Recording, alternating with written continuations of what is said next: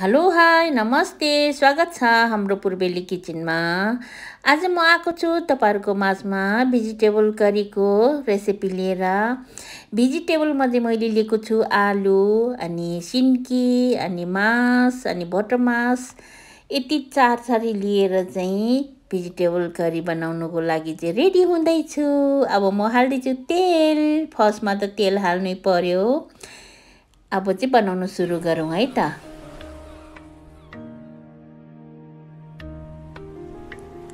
हाम्रो तेल पनि तातिसकेको छ। अब म बटर मासलाई भुट्नु जाँदैछु। त्यसै गरेर मसौरालाई पनि त्यसरी नै भुट्ने। यो मसौरा चाहिँ मासको मसौरा हो है। मासको मसौरा चाहिँ मैले नेपालबाट ल्याएको थिएँ। त्यही कारण मैले चाहिँ मासको मसौराले सट्ट एकचोटि धोएर चाहिँ अनि त्यहाँले पानी तर्काएर चाहिँ बटर मास भुटिसकेपछि मासको मसौरालाई पनि त्यसरी नै भुटिदिने एकचोटि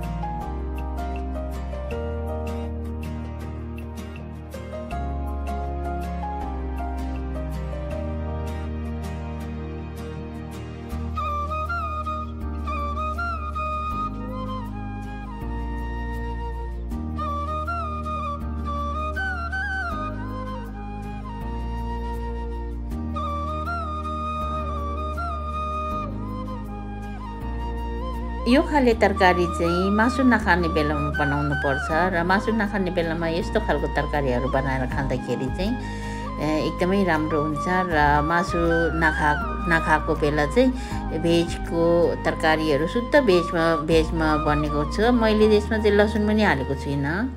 शुद्ध भेज खाँदाखेरि चाहिँ मैले लसुन पनि युज गर्दिनँ। त्यही कारण चाहिँ मैले यसमा लसुन युज नगरेको हो।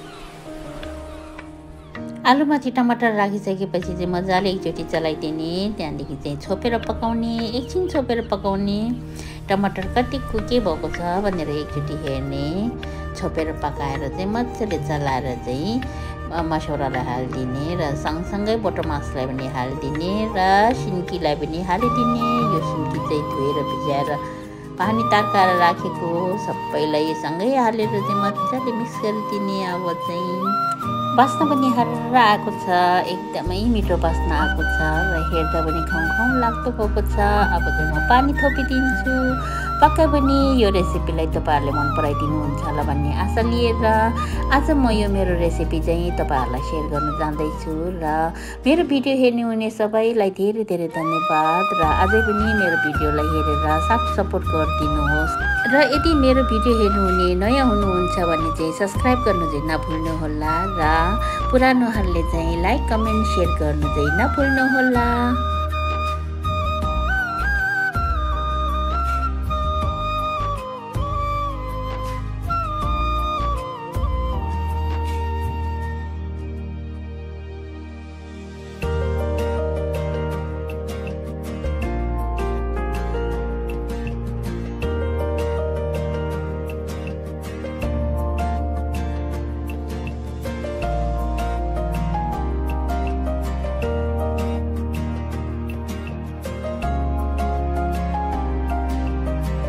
अब हाम्रो भेज करी चाहिँ पाकिसकेको छ। अब चाहिँ हरियो प्याजलाई हालिदिउँ है। त माथिबाट सर्र पारेर हरियो प्याजले हाल्यो भने तरकारीको मुहार नै चेन्ज हुन्छ। अब यस्तो गरेर एकचोटि सर्र चलाइदिउँ।